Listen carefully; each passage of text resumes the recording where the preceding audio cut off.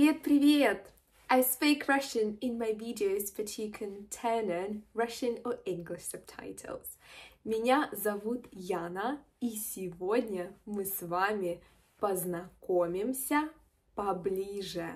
Познакомимся поближе. Я решила ввести новую рубрику на моем канале «Давайте поболтаем по-русски». Мы будем обсуждать разные темы о жизни, о саморазвитии, о хобби и путешествиях. И, конечно, мы будем узнавать друг друга лучше. А приятным бонусом будет то, что вы будете изучать новые слова и фразы.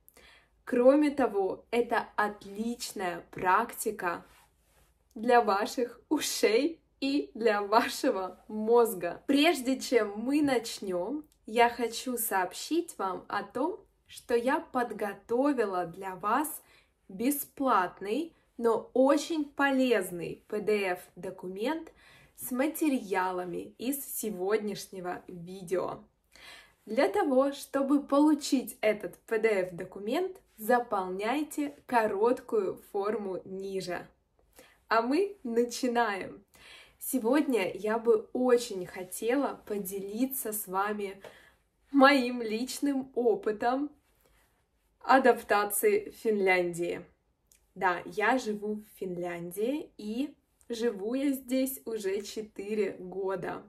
Если вдруг кто-то из вас тоже переезжал в другую страну, адаптировался в новой стране, либо, возможно, вы мечтаете переехать в другую страну, делитесь своими историями в комментариях под этим видео. Для меня это очень важно узнать вас поближе, познакомиться с вами. Давайте будем ближе и будем знакомиться. Я столкнулась с разными трудностями в Финляндии. Я говорю это с таким счастливым лицом. На самом деле было очень трудно. Но с другой стороны, эти четыре года меня многому научили. Первая моя трудность — это финский язык. Финский язык — это один из самых трудных языков в мире. И я ощутила это на себе я ощутила это на своей шкуре, на себе, на своей шкуре. Это правда. Я посещала интенсивные курсы финского языка. Что же это значит? Я училась, я изучала финский язык по 4 часа в день, 5 раз в неделю это было слишком интенсивно для меня. Я плакала от усталости. То я любила финский язык всей душой, то я ненавидела финский язык. Как говорится, от любви до ненависти один шаг. Так и случилось с финским языком. Я изучала его в группе онлайн, и, если честно, мне не очень понравилось, потому что группа была очень большая, было слишком много людей, примерно 20 человек. Я считаю, что трудно изучать язык в такой большой группе. Это мое мнение как профессионального преподавателя с немаленьким опытом работы. Но как было, так было. Язык я все-таки выучила до определенного уровня. Именно на этих курсах я встретила свою первую подругу, с которой мы дружим до сих пор. Она из Польши, и мы стараемся поддерживать нашу связь. У нас сложились очень теплые отношения. Кроме того, со мной на курсах были люди из разных стран, абсолютно из разных стран, И это был очень интересный культурный обмен для меня. Я обожаю людей, обожаю разные культуры, языки, национальности. Мне очень нравится изучать, узнавать разные культуры и, конечно же, их традиции. Но сейчас я вспомнила очень смешную историю, конечно же, с курсов.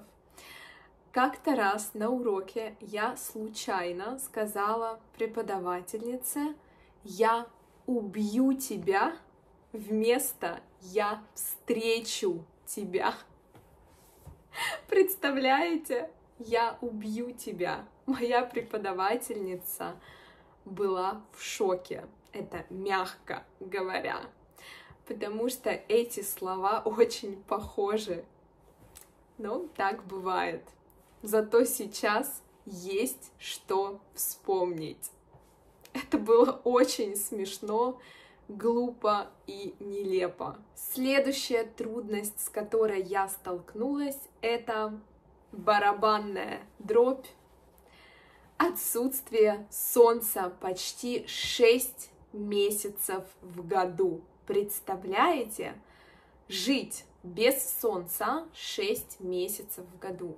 Безусловно, солнце иногда появляется и говорит «Привет, я здесь», как, например, сейчас я вижу солнце, иногда оно прячется за тучами, но оно есть. Я помахала солнцу. Если что, я не сумасшедшая. Со мной все нормально. Да, это отсутствие солнца. Когда я только переехала в Финляндию, русскоговорящие ребята говорили мне, готовься, когда наступит осень, будет очень тяжело, будет бесконечная ночь.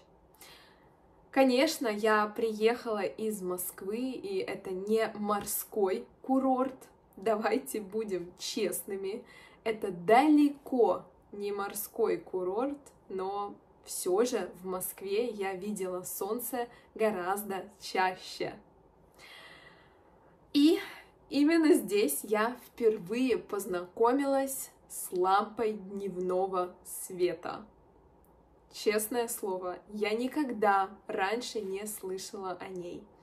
Лампа дневного света стала для меня настоящим спасением, потому что я могла включить ее, когда работала, и мне казалось, казалось, что на, за окном был день, а не ночь.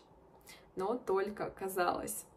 Конечно же, я поняла, почему финны пьют так много кофе, особенно осенью и зимой, потому что без кофе выжить просто невозможно. Примерно в три часа уже наступает ночь, уже на дворе темно, на дворе темно, и, конечно же, организм тоже хочет спать. Несмотря на все эти минусы, я могу с уверенностью сказать, что мне нравится здесь жить. Мне я познакомилась с культурой, познакомилась с языком, а, с людьми. И могу сказать, что я практически адаптировалась. Конечно, мне кажется, что я буду адаптироваться еще несколько лет, но у меня есть моя любимая работа, у меня есть семья, у меня есть хобби, у меня есть друзья здесь из разных стран, и это потрясающе потому что мы обмениваемся, обмениваемся культурным опытом, обмениваемся традициями, ценностями. Это очень интересно и познавательно. Если вдруг, еще раз хочу повторить, вы тоже вы тоже когда-либо переезжали или вы планируете переезжать, мечтаете переехать, делитесь своими историями в комментариях, потому что это будет очень интересно не только мне, но и моим, я не люблю слово подписчики, моим единомышленникам. Моим единомышленникам будет интересно вам, ребята. Давайте знакомиться, узнавать друг друга поближе. Если вам понравилось это видео, если вам было полезно, дайте мне знать в комментариях, потому что так я пойму, продолжать ли такой формат, помогает ли такой формат изучать русский язык. А на сегодня мы прощаемся. Я желаю вам прекрасного дня, отличного настроения. А мы с вами увидимся уже очень скоро, так как я вернулась из отпуска и готова творить для вас. Пока-пока, увидимся!